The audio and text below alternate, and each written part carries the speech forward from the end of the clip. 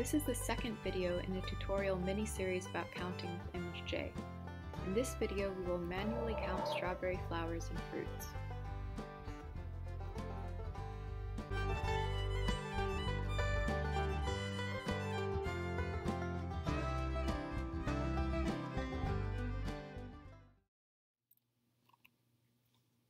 For this example, we're going to use the Fiji version of ImageJ to count the number of strawberry fruits and flowers in a photograph of strawberry plants in the field.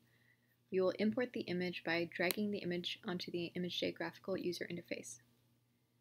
Um, this photograph was taken using a compact digital camera, in this case a Sony DSC RX100, in the middle of a cloudy day.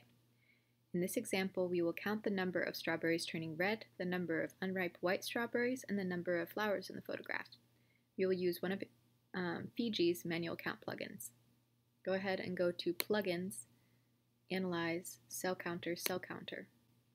It's going to open up a little cell counter window. Um, we have a lot of different counters right now, so we're just going to go ahead and um, click Remove a few times until we only have three.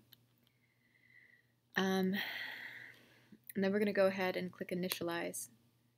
Um, that means that we can start counting. We're going to click Counter Type 1. Um, we're going to start with the red fruit.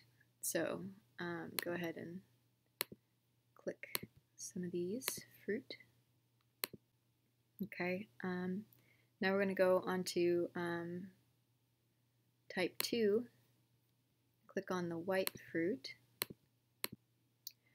Uh, now if you notice there's actually kind of like an obvious red fruit that I kind of missed from earlier. Um, if we miss any fruit from a um, set of categories, we can always go back. So I'm going to go back to um, counter type 1 and I'm going to select that.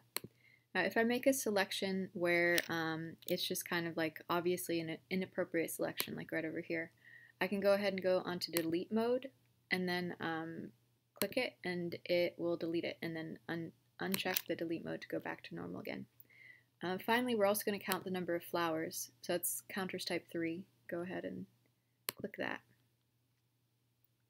And then um, now that we've made all our accounts, we can easily transfer the count results from ImageJ to another program like Excel by um, clicking on the results and then we can go ahead and select that and copy it and we can put that wherever we want.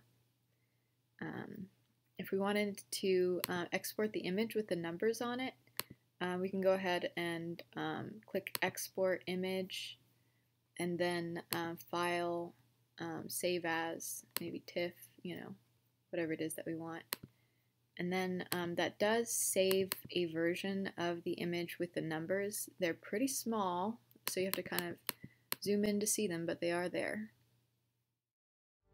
That concludes the second movie in our mini-series about counting manually and automatically in ImageJ. Thank you so much for watching, and hopefully we'll have another movie for you soon.